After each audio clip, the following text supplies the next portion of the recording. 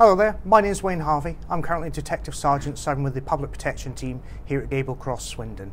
What that means on a daily basis is that I'm managing a team of up to six people which deals with uh, serious child abuse and high risk domestic abuse. But uh, prior to this, uh, I was a transferee myself, so I know what the process is like and, and what you have to go through to come. And I just want to talk to you a little bit about what we've got to offer you here at Wiltshire. If you come to Wiltshire, there's actually for a small force, we punch above our weight in terms of the variety of the detective roles that we can offer you. From the main, the main role CID through to the public protection team, smaller teams such as complex fraud or the safeguarding adults, or perhaps more of the niche and specialist teams that we have here in Wiltshire.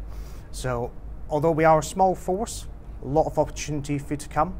Um, we've certainly got room for you and there will be a variety for you. I transferred over in March 2017. During that time, I've worked on CID, public protection, and also back in uniform before I was promoted. So there's real opportunities for you here to progress.